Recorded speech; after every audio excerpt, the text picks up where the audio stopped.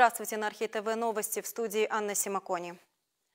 Два человека погибли и трое попали в больницу после серьезной аварии, случившейся в Кишиневе на перекрестке улиц Мунчешть и Пандурилор. Столкновение трех автомобилей произошло из-за нарушения скоростного режима. По предварительной информации полиции, автомобиль марки Volkswagen, за рулем которого находился 31-летний водитель, врезался в машину BMW, затем влетел в электрический столб, после чего врезался в третий автомобиль Toyota. Водитель Volkswagen скончался на месте. Из-за полученных травм прямо на месте скончался водитель автомобиля Volkswagen и его 31-летняя пассажирка. Два других пассажира, 28 и 29 лет, были доставлены в больницу скорой помощи для оказания медицинской помощи. Также пострадала пассажирка в возрасте 31 года, которая находилась в автомобиле Toyota. Водители остальных двух автомобилей не пострадали. Они считают, что причиной аварии стал опасный маневр. Машина на большой скорости пошла на обгон, хотя видимость из-за тумана была плохой. Внимание водителей! На дорогах страны образовалась гололедица. Участникам дорожного движения рекомендуется не отправляться в дальний путь, если автомобили не оборудованы зимними шинами, а также соблюдать скоростной режим. На основных трассах установлены 40 видеокамер, обеспечивающих мониторинг состояния дорог в режиме реального времени. Министерство экономики и инфраструктуры сообщает, что на дорогах образовался гололед. Речь идет о трассах Кишинев-Аргеев, Сороки-Атаки, Кишинев-Одесса, Кишинев-Унгены-Скулены, Кишинев-Лиушены, Кишинев-Дубасара, Кишинев-Бендеры, Новые Анены-Каушаны, Резина-Аргеев, Атаки-Единцы, Бельцы, Фалешты-Скуляны и Бельцы-Саратены. Службы проводят патрулирование трасс и борются с образованием гололеда. В течение ночи 106 машин распределило более 1600 тонн противоскользящего материала. К работе привлечены около 200 рабочих. Водителям рекомендуют увеличить расстояние между автомобилями, избегать опасных маневров, проверять тормоза, оснастить автомобиль зимними шинами, цепями, лопатами, скребком и песком. Пешеходов призывают переходить дорогу только в положенных местах. Напоминаем, что в зимний период оперативная служба государственной администрации автомобильных дорог работает в круглосуточном режиме. Метеорологи предупреждают, что в ближайшие дни похолодает. Ночью термометры покажут до минус 9 градусов на севере, днем будет до плюс 2 градусов на юге юге. Местами пойдет снег. Служба гражданской защиты и чрезвычайных ситуаций Молдовы предупреждает, что выходить на лед водоемов небезопасно. В целях предотвращения гибели людей на реках и озерах проведен комплекс мероприятий по обеспечению безопасности населения. Спасатели предупреждают граждан, что лед на поверхности водоемов очень тонок, поэтому малейшее его повреждение ставит под угрозу здоровье и жизнь людей. В связи с этим Генеральный инспекторат по чрезвычайным ситуациям предупреждает население, в особенности родителей и любителей зимней рыбалки, об опасности выхода на лед. Также запрещается катание на коньках и санках на поверхности водоемов.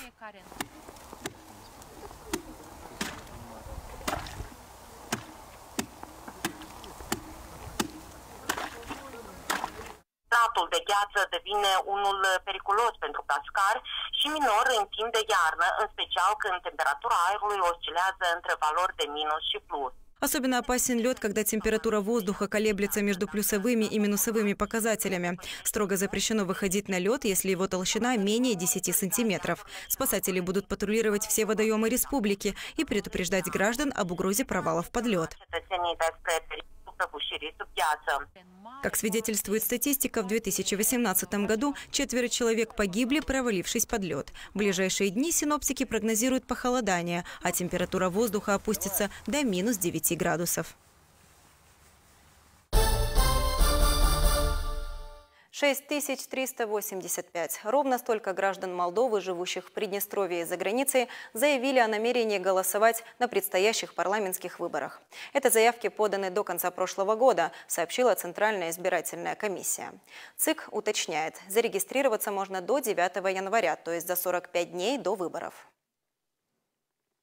Чтобы иметь возможность голосовать на выборах и республиканском референдуме, необходимо заполнить формуляр онлайн-регистрации на сайте Центра избиркома. Регистрация возможна и в бумажном варианте. Для этого необходимо подать заявление в Центральную избирательную комиссию или в дипломатические консульские учреждения Молдовы за границей. Эти данные учтут для определения стран и населенных пунктов, где будут открыты избирательные участки, а граждан, которые прошли регистрацию, проинформируют о местах для голосования. Другими словами, без предварительной регистрации в той или иной стране может быть открыто меньше избирательных участков, чем необходимо, и выделено недостаточное количество бюллетеней для голосования. Начиная с 1 января этого года граждане Молдовы, постоянно проживающие за рубежом, смогут получать молдавские пенсии по возрасту. Накануне вступили в силу соответствующие поправки к закону о пенсиях.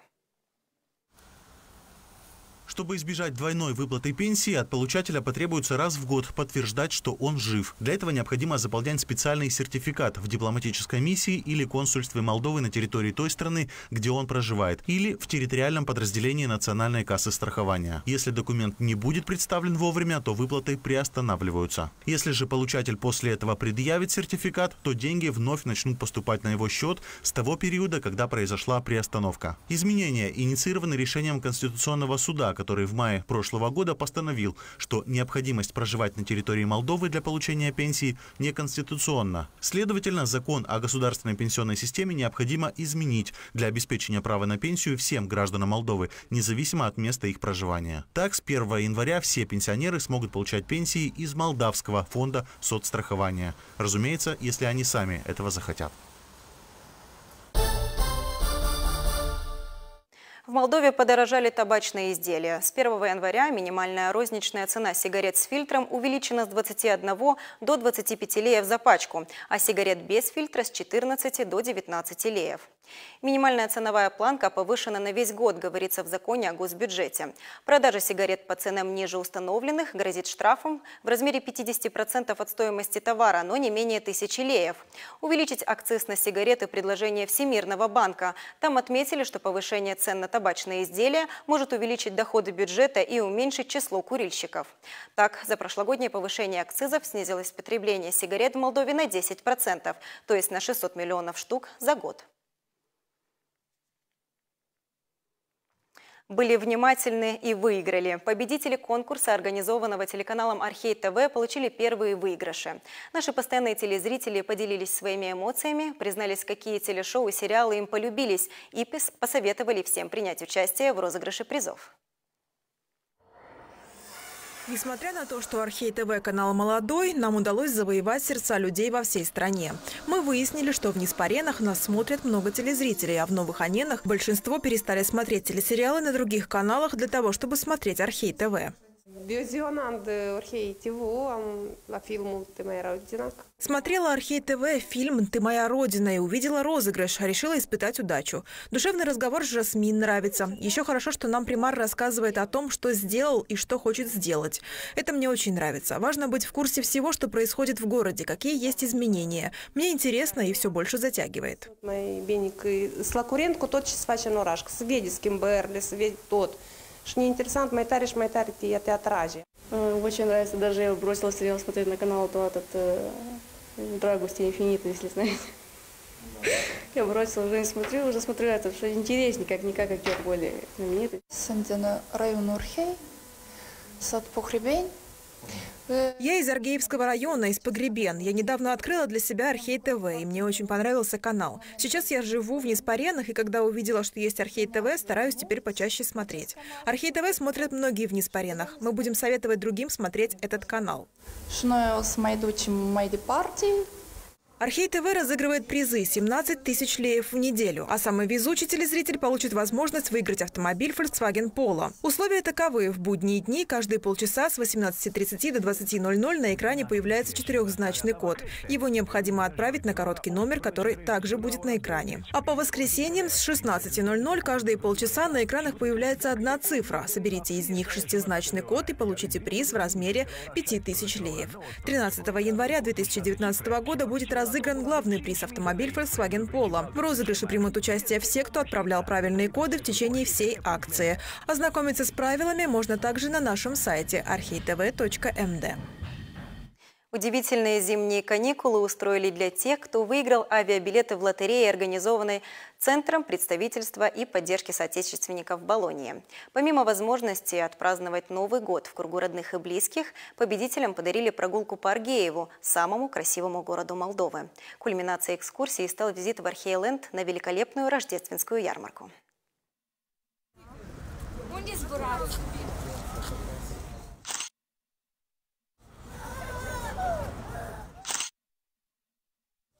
Теплый прием соотечественникам устроили в Примарии Аргеева и самом большом культурно-развлекательном парке Молдовы Архейленде. Гостей встречали хлебом-солью.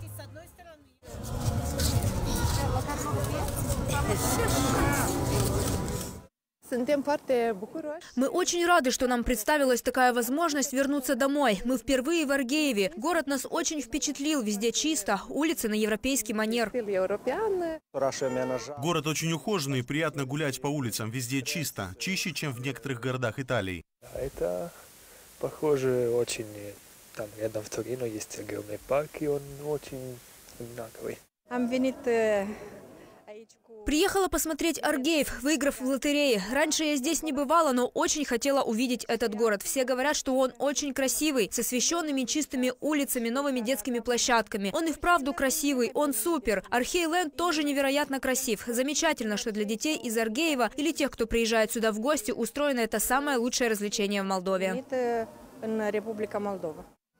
После экскурсии по Аргееву и Архейленду для вернувшихся в страну соотечественников организовали праздничный стол. Напомним, в этом году впервые Центр представительства и поддержки соотечественников в Болонье предоставил уникальную возможность побывать дома гражданам Молдовы, находящимся в Италии. 500 человек выиграли билеты на перелет в Молдову и обратно. Так люди получили возможность провести зимние каникулы дома, в кругу семьи. Эта акция стала частью программы по поддержке жителей Молдовы, возвращающихся на родину. Массу полезных занятий и развлечений во внеурочное время, а также на каникулах предлагает Центр юных техников Аргеева. Сейчас досуг здесь проводит около 600 девчонок и мальчишек разных возрастов. Для них работают более десятка кружков. О работе центра и его воспитанниках расскажет наша коллега Елена Виговская.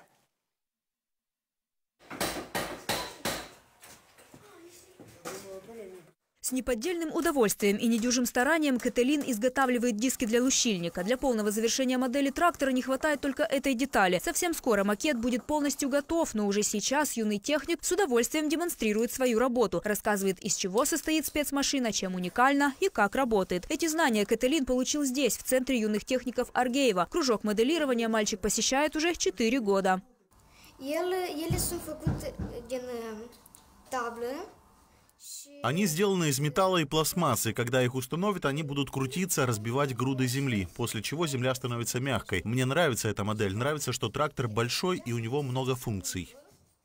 Как правильно изготавливать детали и собирать их воедино, знает руководитель кружка. Анатолий Цибуляк воспитал в этих стенах не одно поколение мальчишек, которые, приходя в кружок моделирования, уже определялись с будущей профессией. А таких за годы преподавания Анатолия около 40 человек. Сегодня они работают в МЧС, агрокультурном секторе, вооруженных силах и не только. Ребята отсюда выходят уже, которые имеют такой маленький путь в профессию. Мать, они уже выбирают. Эта школа дает такие результаты, которые является фундаментом для определения будущих профессий. Кроме кружка технического моделирования, в центре еще 12 секций. Помимо рукоделия, которым занимаются в основном девочки, детей учат мастерить игрушки из дерева. Для этого с помощью трафарета на дерево переносится рисунок, который потом мальчишки вырезают, шлифуют и красят. После всех манипуляций получаются вот такие забавные фигурки. Кстати, попадаются довольно практичные экземпляры. Например, вот эта лошадь. Мастерят также корабли и самолеты. Что немаловажно, мальчиков учат работать с инструментами и станками. Большинство кружков посещают мальчики. Это дизайн, моделирование. Это производит впечатление на маленьких детей от 5 лет. И на мальчиков, и на девочек. В большинстве кружков по дизайну девочки. Там обучают конструированию и пошиву одежды. Дети получают первые навыки в живописи. Им это нравится, потому что мы работаем с разными материалами. Стеклом, картоном, деревом.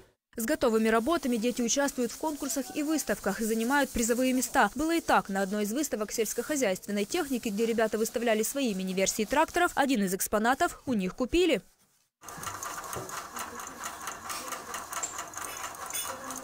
Центр юных техников работает ежедневно по будням. С часу дня до пяти вечера после занятий в школе сюда приходят около 600 детей. По словам директора, это хороший способ занять подрастающее поколение, ведь здесь дети не только под присмотром взрослых, но и постоянно учатся чему-то новому, что зачастую помогает найти занятия всей своей жизни.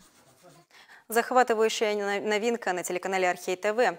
Наш эфир пополнит популярный английский сериал «Фортитюд», который называют вторым Твин Пиксом или лучшим детективом 2015 года. Не пропустите с понедельника по пятницу в 21.00. Очередное убийство в сонном городке, на этот раз на краю Арктики. Детектив Мортон прибывает в полярный город Фортитьюд, чтобы расследовать волну загадочных преступлений в живописном и некогда тихом местечке. Но он сталкивается с новыми неразрешимыми загадками. Отдельных слов заслуживает операторская работа. Действие происходит в красивейших заснеженных местах, а создатели Фортитьюда сумели найти замечательные пейзажи. Они удивят даже тех, кто привык видеть не только молдавские зимы. Отметим и подборку актерского состава. Звезд звезды Ричард Дормер и Люк Тредовой не подвели. В итоге «Фортитьюд» стал одним из лучших сериалов в жанре полярного хоррора с удивительным сочетанием ужаса, драмы и настоящего накала страстей. Это были все новости этого часа. В студии была Анна Симакони. Всего хорошего и до свидания.